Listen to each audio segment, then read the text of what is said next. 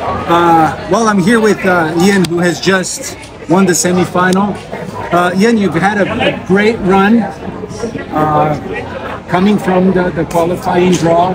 I believe this is the first time a player coming from the qualifying draw makes it into the final here in this event. Yes, yes, I heard that. I heard Congratulations.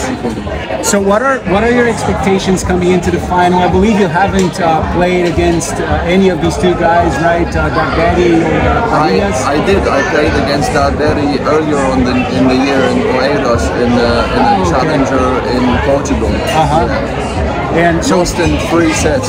okay. yeah. And what, what do you expect for, for tomorrow? I mean, we're in a much better place now than we were at the beginning of the year. I just came out of two years of tough injuries, so beginning of the year was just like, you know, getting back into into the swing of playing tournaments. You know, I had an issue there, issue issue here. You know, after so many so many months. Uh, of absence on, on the tour. So uh, right now everything is holding up pretty good. You know the body is in a much better state. Uh, my tennis is in a better state. So um, yeah, I'm looking forward to playing the final, and I think that there's a lot of chances to win the tournament. Excellent. This is your second challenger final, isn't it? Second challenger final in my life. Yeah, I First played- in three, four years.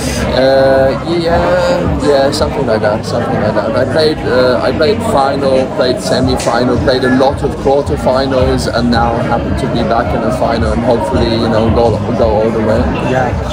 Uh, well, you, you're from Europe, a place where they have lots and lots of tournaments. Uh, so I have to ask you this: Why Brazil? Why why did you choose to come? You're a long way from home, right? Why did you choose to come all the way to Brazil to Well, play here? well, um, when I was ranked at my career high, like around 200, 230, you know, back back a couple of years ago, I was ranked about between 230 to 80 for like three, three and a half years or something, playing mainly challengers. And uh, I had very good experience coming to South America as a junior. I came here once when I was ranked like 400 in juniors with the goal to play all of the Grand Slams, main draws of juniors.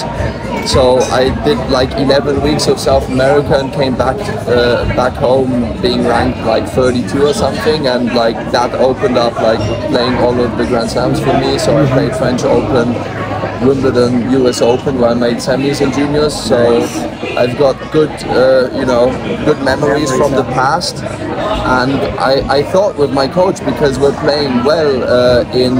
Uh, yeah, we're playing well on play in general, so I thought, you know, why not give it a try? Because we always did like uh, in the past the US tour, which didn't give me enough points to secure. Exactly. So I thought, you know, this year, you know, new start, new beginning, got some protected rankings left, so why not just give it a try? And I mean, it's going great. So It is, yes. I guess it was a good choice. Exactly, exactly. Excellent. Yeah. Yeah. Thank you very much. yeah, appreciate it. Good luck tomorrow. Thank you. I hope you make it all the way. Thanks. All right.